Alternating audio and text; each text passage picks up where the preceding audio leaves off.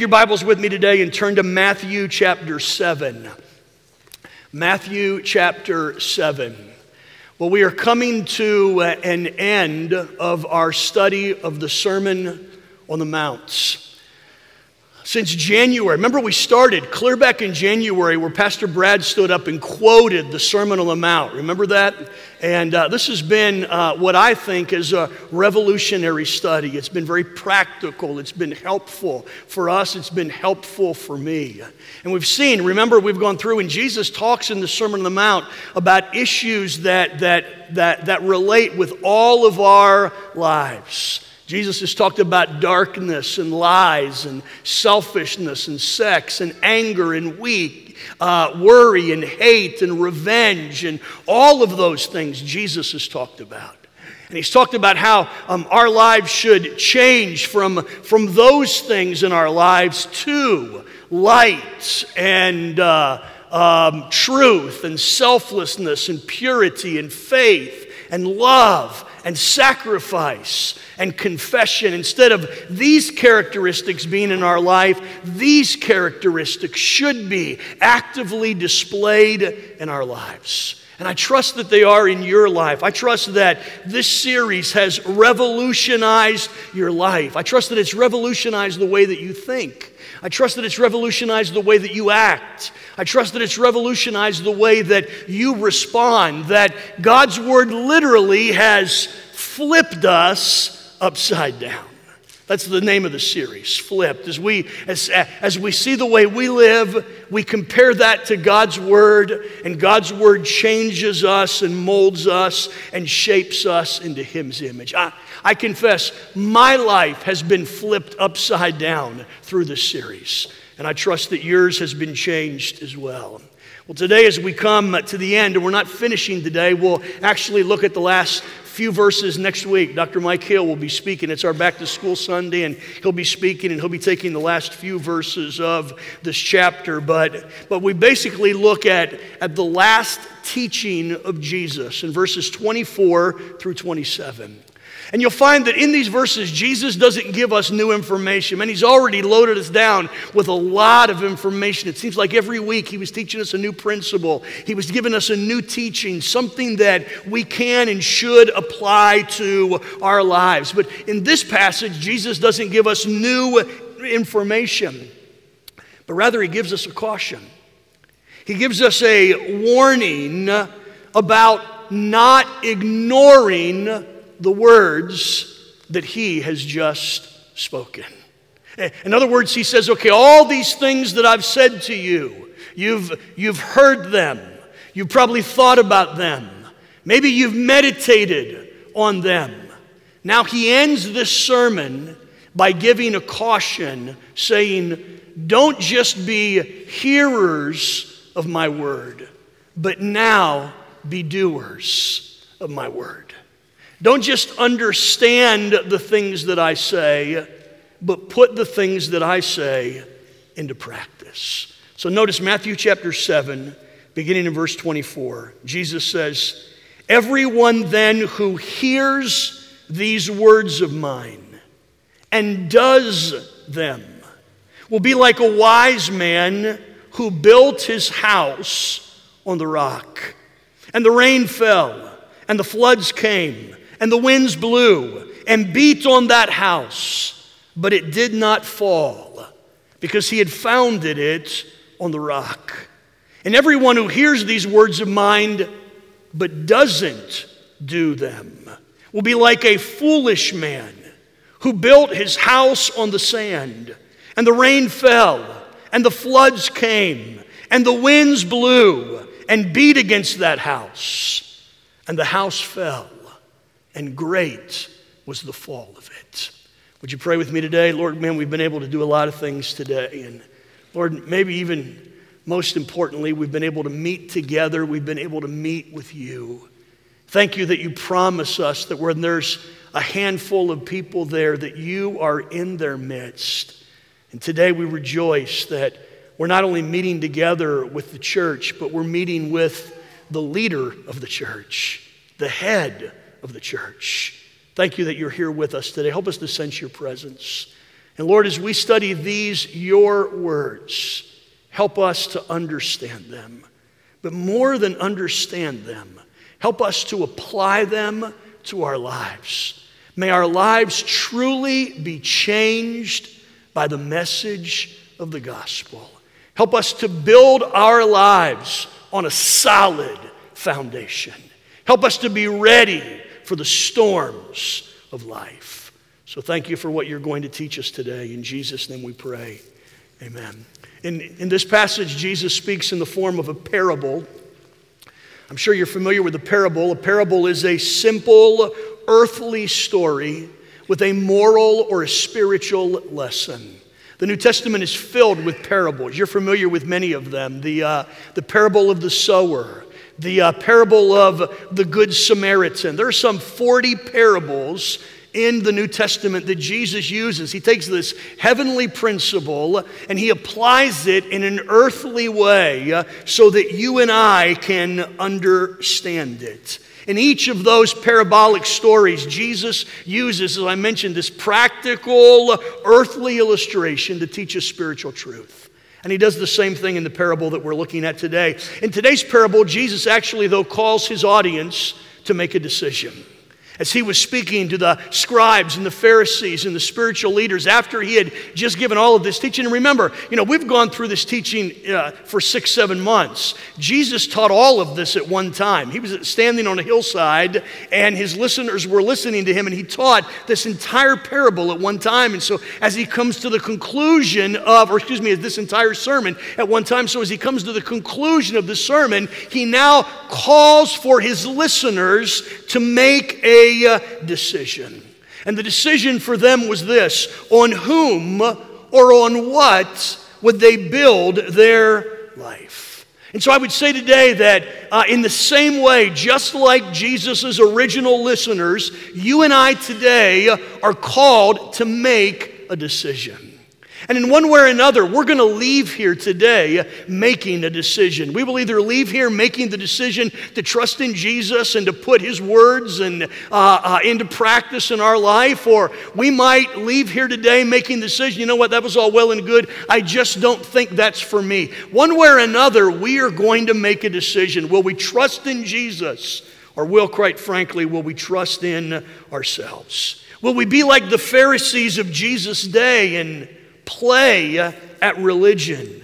Or will we truly become dedicated followers of Jesus Christ? Will we allow Jesus to produce in us what only He can produce for His honor and for His glory? So, if you're following along in your outline today, two simple points there's the explanation of the parable, and then the application of the parable. So notice, first of all, the, the explanation of the parable. And notice verse 24 and verse 26 again. Verse 24, Jesus says, Everyone then who hears these words of mine and does not do them will, like, will be like a wise man who built his house on the rock. In contrast, verse 26, those who hear these words and don't do them will be like the unwise man who built his house on the sand. Now, you might read this and say, Boy, sure sounds like Jesus is getting into the house building business. But you know as well as I do that here, Jesus is not instructing us how we should build our physical homes. He's not looking at Brian and you and saying, now, when you construct your house, let me give you a couple of architectural ideas how you should construct your house. He's not talking about a physical building. No, the building of the house in this passage is comparable to the building of one's spiritual life. So Jesus is talking about the fact that, that Brian is in the process of, of seeing his spiritual life built. And you are in the process of seeing your spiritual life built. The simple truth is this that all of us are under construction. We've said that over and over again. All of us could have a great big sign on our chest that simply says this Please excuse me, I am under construction. All right? I'm under construction, and you are under construction, whether you realize it or not. You were in the process of building your spiritual house. You were in the process, obviously, allowing God to build your spiritual life question for me, though, and the question for you is this What type of house are we constructing? Are we allowing God to construct, to build a house that will survive the storms of life? Or are we building a house that whenever problems come, and whenever temptations come, and whenever trials come, our spiritual house will fall, and as Jesus says in the passage, great will be the ruin of it. Notice in the passage, Jesus mentions two houses that were built. And I want you to see that these houses were built in a similar way. Look, let's kind of dissect the passage a little bit because, because both these houses, though different, were built in the exact same way. Let me tell you what I mean by that. First of all, both builders had heard the message of the gospel. In verse 24 and verse 26. Verse 24 talks about the wise builder. Verse 26 he talks about the unwise builder. But both of those verses begin the exact same way. He says, Everyone who hears these words of mine. So listen, here's what Jesus is not doing. Jesus is not comparing those who live in the United States, us, who have access to the gospel and hear the gospel all the time, with those who live in another country who have never heard the gospel. That's not the comparison that he's making. Jesus is speaking to religious people. Jesus is speaking to us. Hey, hey, first of all, here's what we need to understand, and I want you to catch this. Hearing the gospel is not enough. Catch that. Hearing the gospel is not enough. Understanding the gospel is not enough. You can hear the message of Jesus. You can even understand the message of Jesus and still build your life on the wrong foundation.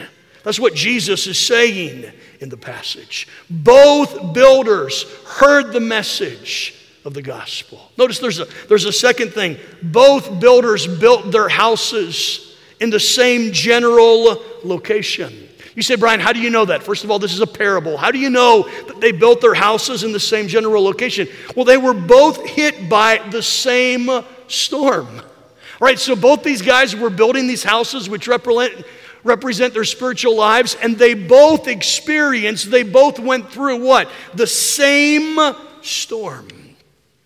What does that mean? How do we apply that to our lives? In other words, the, the outward circumstances of their lives were the same. One did not have any more advantage over the other. They probably lived in the same town. They probably attended the same church. They probably heard the same message. They, they were basically the same type of people. This is so basic, but I want you to catch this because I think some people are disillusioned by this. Being born in the United States does not make you a Christian. Attending Hollywood Community Church week after week does not make you a disciple. Don't misunderstand. I am grateful to be a citizen of the United States of America. I'm sure you are as well. I'm thrilled that I'm a part and you're a part of Hollywood Community Church, and we want you to be here Sunday after Sunday. But the simple fact that you're an American, the simple fact that you attend here week after week, does not make you a disciple of Jesus Christ. And Jesus makes that distinction in the passage. There's a third thing that, that's indicated in the passage. Both builders built houses that had the same appearance. Outwardly, their spiritual houses from, were very much alike. From all appearances, the foolish man lived and looked just like the wise man. One didn't look any more righteous. One didn't look any more spiritual. One didn't look any more holy than the other. They had the same spiritual appearance. From the outside, externally, they look like the exact same house. So as I read that, I thought, wow, these two guys, symbolized by the spiritual house that they are building. These two guys seem very much alike. They kind of look like spiritual twins. It's kind of like I think most of you know that I have an identical twin Bruce. It's kind of like having Bruce and Brian up here, other than the fact that, you know, um, I carry just a little bit more weight on me than Bruce does. Solid muscle compared to him. But other than that, we are, you know, that's not true. But, anyways, uh, um, other than that, we're alike. You'd look and say, My word, they look like the same person. You'd look at these two people that Jesus is describing, and you would say, man, they are so much alike. They look alike, they talk alike, they dress alike, they act alike, they respond alike. Why, both of them are solid believers. Both of them are solid Christians. But there was one significant difference. And Jesus outlines the difference. The difference is this their houses were built on different foundations. Externally, they look the same, but one man built his house on the rock, and the other man built his house on the sand. Now, you don't have to be a geologist, you don't have to be an architect today to know that there is a huge difference between constructing upon rock and constructing upon sand. It's interesting, the terms that Jesus used are very interesting. The word rock here doesn't mean just a stone or a boulder. The word that Jesus used uh, describes a great outcropping of rock, a large expanse of bedrock, something that is incredibly solid. So he say, here's one man who, who builds this beautiful house, the wise man, and he builds it on bedrock. It's solid. But here's somebody else who builds seemingly the exact same house. And instead of building it upon rock, he builds it on sand. Now, you know there's a huge difference between rock and sand, right? Rock is solid, it is sturdy, it is unmovable. Sand is soft, it's shifty, it is unstable. And so Jesus said, Here's these two guys, seemingly spiritual, seemingly religious for the most part, identical. Externally, you can't tell a difference. But there is a difference. The difference is not external, the difference is internal. One built his house on the rock, and the other built his house on the sand. Now, notice Jesus clarifies what he means in the passage, and it's in your notes. Jesus says the house built on the rock represents the man who heard the words of Jesus and obeyed them. The text of the ESV actually says he does them. The word does is a, is a really simple word. It's not a complex word. It's a simple word that is used repeatedly in the New Testament some 500 times. It carries the idea of doing something, making something, or accomplishing something. And Jesus said, Here's the wise man who not only hears my words, but he what? He responds to my words. Through God's grace and God's empowerment, he takes my words and he, he puts them into practice. And Jesus calls him a wise man. But there's a contrast. The house built on sand represents the man who heard the words of Jesus, heard the exact same message, more than likely understood the message. The difference was he disobeyed them.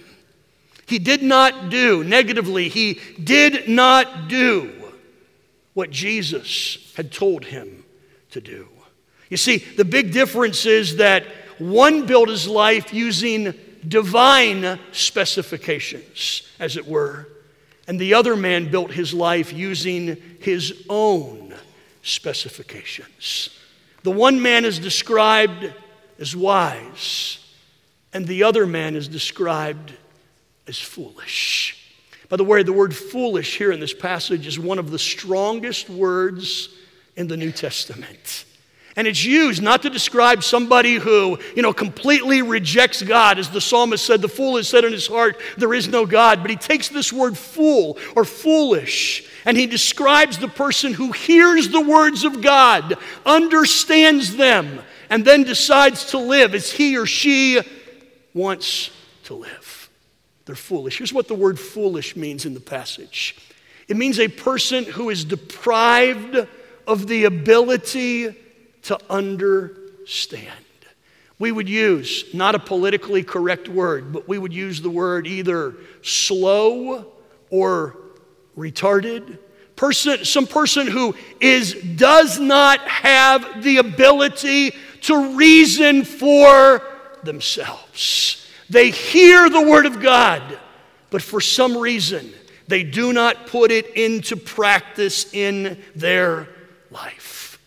And Jesus said that person is not a wise person, that person is a foolish person. The explanation of the parable. So follow me for just a moment. Not only do we explain the parable today, but, but we apply the parable. So here, some, some 2,000 years removed from Jesus standing up and preaching the Sermon on the Mount there on that hillside, how does this apply to us? You and I live in a completely different day and age. Uh, you and I live in a completely different culture. We're speaking a completely different language. How does these verses, how do these verses apply to us here in 2016 at Hollywood Community Church? Let me give you three applications that, that I promise is going to resonate with where you are today. The first application is this every person will go through storms that will test the foundation of their faith. Let me say that again. Every single person will go through storms that will test the very foundation of their faith. We see that all through Scripture. Look at some of the Bible's greatest heroes. Their faith was tested. Job, one of the most pious, holy men in the Bible, in one day lost his family, his wealth, and his health. Abraham, who believed God and it was counted to him as righteousness, was asked to prove whether he loved God more than he loved his own son. Joseph was betrayed by his brothers and sold into slavery. Ruth lost her husband and had to live in a foreign land. David was anointed as the future king of Israel, and yet, after that anointing, the present King Saul began to chase after him and pursue him and try to kill him. And for years, David, God's anointed, was on the run for his life. Hosea, God's prophet, ministered while having a wife who was unfaithful to him. The Apostle Paul was beaten, stoned, and left for dead. Yeah, even the great Bible characters went through tremendous storms. Now, listen, such difficulties do not just occur in the Bible, they happen today as well. You don't have to attend Hollywood Community Church very long to hear of our faithful members who have endured difficult storms. say, Brian, what are you talking about? Amy Rittering lost her husband to a terrorist attack seven months ago. What a storm. Tim Elton, one of our beloved guys in our congregation, after surviving stomach cancer, has repeated episodes of syncope, fainting, which doctors cannot diagnose. Since January, Tim's been in the hospital, I think, 24 times. The doctors have looked and said, Man, we're struggling with diagnosing what you're going through. Many of you have lost family members, even in recent months. Listen, church, get this. The simple truth is this you will go through a storm in your life that will put your faith to the test. It doesn't matter how strong you are, it doesn't matter how long you've been a believer, your faith will be tested. It was Adrian Rogers who said this a faith that has not been tested cannot be trusted. And God allows us to go through situations which test our faith. You ever been through one of those? I'm not talking about just a little trial. I'm not talking about just a little hiccup in your life. I'm talking about a ground shaking, earth shattering experience in your life that shakes you to the very core and causes you to examine do I really believe what I say I believe? Have you ever experienced that? Vicki and I had been in Mexico City for seven years. Most of you know we were missionaries there for, for 10 years. Planned on spending the rest of our lives there. My twin brother Bruce and his family were joining us. I mean, just uh, God was blessing our ministry there more than I can begin to explain. When all of a sudden, little Amber was born. First 30 days, we had no idea whether Amber was going to make it. I won't get into the entire story. It was difficult. I'd been a pastor for years. I was a missionary who left my home, left my country, was starting a church. I have to tell you, that shook my faith. I didn't turn my back on God, but there were times that I cried out to God and say, God, I don't understand. I don't understand. How in the world can you treat me this way? You ever been there? And by the way, we don't, uh, we don't deserve to be treated anyway.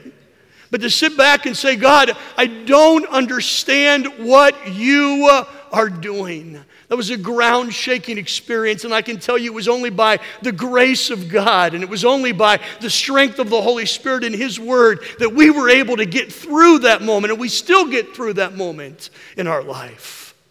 Listen, maybe you've experienced somewhat something even more difficult than that, but I'm here to tell you today there will come a time in your life in which the faith that you claim to possess will be put to the test.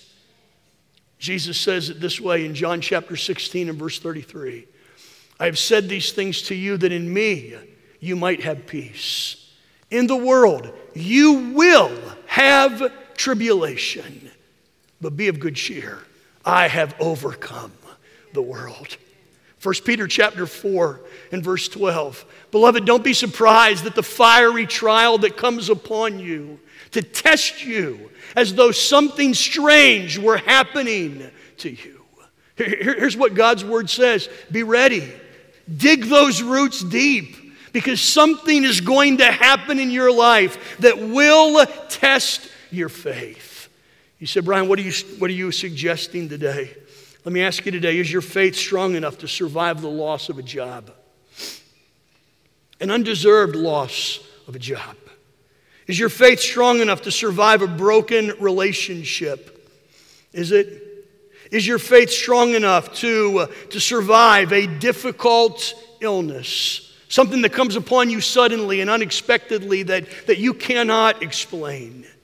Is your faith strong enough to survive an unjust and untruthful accusation? Is your faith strong enough to survive the death of a child? Listen, we must have a strong foundation because there will come a time in our life when the very foundation of our life will be shaken. And if we do not hold on to something stronger than ourselves, we can fall and even fall away from the Lord. We built um, um, our church in Mexico City. We bought this. We bought this piece of property. It's been, oh my word, 25 years ago now. We bought this piece of property, and our church was growing, and we, uh, we were growing so much that we had to knock out the back walls and build an auditorium. And then we had to, Mexico City, you don't have a lot of land. We only had 300 square meters, so the only way to build was up. The church was growing. We couldn't build out, we had to build up. And so we brought architects in and we said, okay, what do we got to do to add a, another floor and potentially another floor on top of that? And so the architect said, well, man, we got to dig some pretty awesome and big foundations. We got to add to your foundation. And we're like, well, how much is that going to cost? And it cost a lot of money. The guy said, You know what? You can build on top, but if you don't put those foundations in, you could be in trouble. Well, wisely, our church leadership said, Man, let's, let's strengthen our foundation. So they dug down into, right in our auditorium. Vic, you probably remember, right in our auditorium, dug way down and put these massive foundations in our building. And I remember looking at him sometimes thinking, asking the architect, Man, this is overkill to me. Oh my word, we're putting in, I mean, we're not, we're not building, you know, the Eiffel Tower here. We're adding one floor. And so they said, no, no, no, believe me, you got to do it. So they built it. We added on. Beautiful church building. I'll never forget, one day I was in a restaurant in Mexico City and an earthquake hits. And you know, one of those, if you've ever been to Mexico City, we have them occasionally, but one of those strong earthquakes. Buildings shook. I mean, shook. Scared everybody to death you know, I'd like to think, you know, my faith was strong and I'm just standing up looking at everybody else, but I'm under the table, you know, you know, petrified, crying out to God for my life. That's not really true, but but anyway, so we went through this, went through this this earthquake, and so soon as it settled, I looked. I had one of our church leaders with me across the table. As soon as it settled, I said, "Let's go." He said, "Where are we going?" I said, "We're going to the church." I want to see how the church survived this earthquake. And man, we walked in. Guess what? Not a crack in the walls. Not a block fell. The architect knew what he was talking about when he said, build a strong foundation. Jose and I were there this last November. They've added another floor, and only the Lord knows how many earthquakes they've been through, and that building is strong. Why? It's got a strong foundation. You will go through a test in your life that will shake you to your core that will test the foundation of your faith. Let me give you a, a second thing. The second thing is this. Here's the second application that I believe Jesus is saying. A faith that is not followed by obedience is a weak faith without a solid foundation. Let me say that again. A faith that is not followed by obedience is a weak faith without a solid foundation. Verse 26 And everyone who hears these words of mine and does not do them is like the foolish man who built his house on the sand. Listen, here's what Jesus is saying obedience is the result of faith. Let me say it again obedience is the result of faith. Let me say it one more time. Obedience is the result of faith. Let me, let me not, let's not listen to Brian's words, let's listen to God's words. James chapter 2 and verse 14.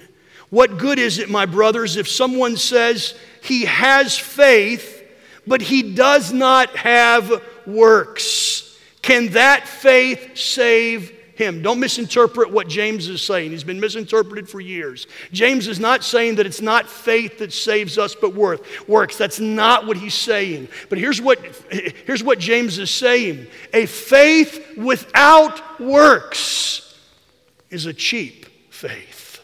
A faith that does not result in obedience is a weak faith.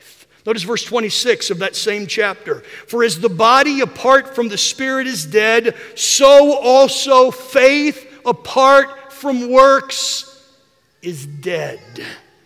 James' words. Once again, he's not saying that we're saved by good works. Ephesians 2 8, for by grace are we saved through faith, not of works, lest any man should boast. I get that. But Paul says in verse 10 of Ephesians 2, but we are saved for good works. In other words, when God comes into our life, he changes us. He begins to produce those good works in us. He who began a good work in us will complete it until the day of Jesus Christ. 2 Corinthians 5:17 Paul says this, if anyone is in Christ, he is he is a new creation. Old things have passed away and all things have become new. So, in the light of that, what do we do? Let me give you two practical points. They're not in your notes. Two practical things. Number one, examine the foundation of your faith. My goal today is not to make you doubt your faith. Please catch that. That's not my purpose today. But I think it's important that we examine our faith. Paul even says, 2 Corinthians 13 5, examine yourselves to see whether you are in the faith. Test yourself. Examine the foundation of your faith. But I would also say examine the focus of your faith. Listen, if you hear anything I say today, please catch this, all right? I am convinced that there are many believers today that are attempting to live the Christian life on their own power. They're focused, they're determined. They, they listen to Brian, they listen to, you know, Dr. Hill, they listen to whoever stands up here and speaks week after week, and they get this determination in themselves. They walk out of the building saying, okay, this week I'm going to do it. This week I'm going to live the Christian life. And by Wednesday, they're frustrated and discouraged. They, they were determined. They wanted to do right. They were even focused. But now they're frustrated and they're defeated. You say, Brian, how do you know that? Because I'm one of them. I'm one of them. Like the Apostle Paul. Listen, I confess that I do things that I shouldn't. And I confess, like Paul says in Romans chapter 7, that I don't do the things that I should. Listen, I get it. The Christian life is a paradox. The more I try, the more I strive, the more I fail. It is only when I give up and I give in to the power of God that I am able to be victorious. It's kind of like, and, and some, somebody's going to correct me, I'm sure. Years ago, Vicki and I went on this vacation and, and we went to this resort place and, and they said, Hey, you ever water skied? And I'm like, Nah, I've never water skied. You want to go water skiing? Sure, I want to go water skiing. I mean, I was how old? 28 years old back? I was a kid back then. I'm thought, never water skied, but this has got to be a piece of cake, all right? I mean, if other people can do it, I can do it. And so we got out and, you know, I grabbed a hold of the things, water skis. I think I, tr- I tried so hard to get up. After four or five times, I never got up on the skis. There were these little old ladies that I saw that were getting up and, you know, skiing all over the lake. Here's strong, robust Brian. And the guy that's driving the boat, I'm sure he's sitting back thinking, who is this wimpy guy in the back that just can't even get up? I had all the best intentions in the world. I tried. And he kept saying, Brian, just sit back and let, let the velocity, let everything kind of bring you up. If you just hold on, it'll bring you up yourself. And I'm trying, I'm trying to stand up. I never did it. I'm 54 years old. I've never water skied in my life, all right? I can't do it. Please don't invite me to try, all right? I've already been a failure once. I'm not going to be a failure again, all right? All right, but, but, but, but I think that's an explanation of our lives because we try under our own power and we fail. You say, Brian, how can I do it then? Let me give you just a couple of practical things. The first is this, and we're going to talk about this in the next few weeks. Accept the gift of righteousness of Jesus Christ.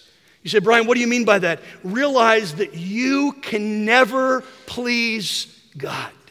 You say, Brian, isn't the object of religion to please God? The, we say that, but you and I can never please God. I can, I can live for a thousand years and I can never please God. My good works are just like filthy rags in His sight. The neat thing, though, accept this, embrace this, is I don't have to please God because Jesus already pleased Him. I don't have to fulfill the law. Jesus already fulfilled the law. He lived the perfect life that I can never live. So every day I wake up and say, Oh God, today I claim the righteousness of Jesus Christ. I cannot do this on my own, but I claim your righteousness for a victorious life. Surrender to the Holy Spirit of God and ask Him to produce obedience to God's word in your life. That's the only way Brian's ever going to be successful. That's the only way you're ever going to be successful. Let me give the last thing, and I'm done. The foundation of your faith is not obedience or good works, but Jesus Christ. Jesus is the rock of your salvation. Would you say that with me today? Jesus is the rock of my salvation. Can you say it one more time? Jesus is the rock of my salvation. We used to sing the song with our kids Jesus is the rock of my salvation, his banner over me is love. Jesus is the rock of my salvation. His banner over me is love. Some of you know the signs. You're doing it with me, all right? You've taught children's church at some point or you had kids. Listen, the foundation is not obedience, it's Jesus. Jesus is the rock of our salvation. Notice the words of the apostle Paul, 1 Corinthians 3:11. For no one can lay a foundation other that other than that which is laid, which is Jesus Christ. 1 Peter 2 6, for it stands in Scripture, Behold, I am laying in Zion a stone, a cornerstone, chosen and precious, and whoever believes in him will not be put to shame. Here's the eye Jesus is either the cornerstone of your life or he's the stumbling block of your life. He's either the foundation upon which your life is fixed or he's the stumbling stone. Why is that? Because one day you will stumble upon him and you will fall into destruction. Listen, I'm done. This is such an important point for us to realize. As we come to the end of it, remember the, end of the sermon, remember to whom Jesus is preaching. He's preaching to the scribes and Pharisees, the religious people of his day, people who took pride in obeying the commands. They were so prideful in obeying commands that they invented commands to obey. I mean, these were people who would say, Listen, I got it together. I'm spiritual. I'm religious. God, I'm so thankful that I'm not like the heathen over there but I do what you want me to do. That's who Jesus is preaching this message to. And he looks and he says, The foundation is not your righteousness, the foundation is not your religiosity. The foundation is not your, your ability to, good, to do good works because you can never be good enough. Your foundation must be me. Jesus is the rock of our salvation. Let me ask you today what are you building your life on? What, day after day, what is your life being constructed upon? Is it on great aspirations? Is it on selfish ambition and desires? Or can you sit back and say, no, man, I am building my life on Jesus Christ. And as a result, He is changing me. I'm not what I ought to be, to use that old adage, but thank God I'm not what I used to be because God is changing me for His honor and His glory. Build your life on a solid foundation. Make sure that foundation is Jesus.